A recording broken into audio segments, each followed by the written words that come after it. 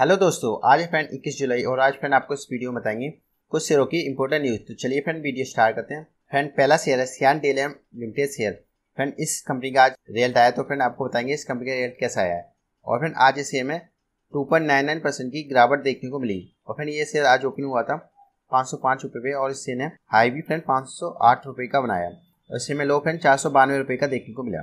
तो चलिए फ्रेंड देखते हैं इस कंपनी का रिज़ल्ट कैसा आया है। इस कंपनी की सेल्स लास्ट क्वार्टर में दो करोड़ की आई थी, जो फ्रेंड इस क्वार्टर में घट के दो सौ सत्रह करोड़ की आई है। तो फ्रेंड इसकी सेल्स में गिरावट देखने को मिली है। इस कंपनी खर्चे लास्ट क्वार्टर में फ्रेंड दो सौ पैंतालीस करोड़ के थे तो फ्रेंड इस कंपनी ने खर्चे भी कम किए एक सौ सत्तानवे करोड़ का खर्चा आया इस क्वार्टर में। और फ्रेंड इस कंपनी का ऑपरेटिंग मार्जिन लास्ट क्वार्टर में ग्यारह परसेंट का था, जो इस क्वार्टर में नाइन परसेंट का रह गया। तो फ्रेंड इसके ऑपरेटिंग मार्जिन में भी गिरावट देखने को मिली है।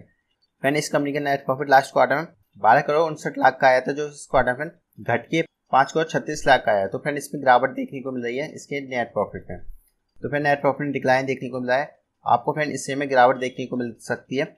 मंडे को तो फ्रेंड थोड़ा अलर्ट रहे, अगर आप इस कंपनी के शेयर को होल्ड करते हैं। और friend next share S W steel limited share friend इस शेयर में आज one point three seven percent की गिरावट देखने को मिली।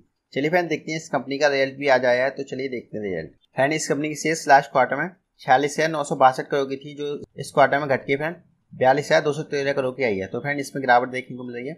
और लास्ट ईयर फ्रेंड ये अड़तीस करोड़ छियासी हज़ार की आई थी। तो फ्रेंड लास्ट ईयर से तो इसमें तेज़ी देखने को मिल रही है, लेकिन क्वार्टर टू क्वार्टर इसकी सेल्स में गिरावट देखने को मिल रही है। और फ्रेंड कंपनी का ऑपरेटिंग मार्जिन इस क्वार्टर में सत्रह परसेंट का है, जो लास्ट क्वार्टर में सत्रह परसेंट का था। तो उसने क्वार्टर टू क्वार्टर मेंटेन रखा है अपने मार्जिन को। और लास्ट ईयर फ्रेंड ये ग्यारह परसेंट का था। तो लास्ट ईयर से फ्रेंड इसमें सिक्स परसेंट का उछाल देखने को मिल रहा है। और फ्रेंड इस कंपनी का नेट प्रॉफिट इस क्वार्टर में दो हज़ार चार सौ अट्ठाईस करोड़ का है, जो लास्ट क्वार्टर में तीन हज़ार सात सौ इकतालीस करोड़ का था। तो फ्रेंड इसके नेट प्रॉफिट में ही डिक्लाइन देखने को मिल रहा है फ्रेंड क्वार्टर टू क्वार्टर लेकिन ईयर टू ईयर इसमें अच्छा गेन देखने को मिल रहा है। लास्ट ईयर ये नेट प्रॉफिट आठ सौ उनतालीस करोड़ का था। तो फ्रेंड ईयर टू ईयर इसमें तेज़ी देखने को मिल रही है।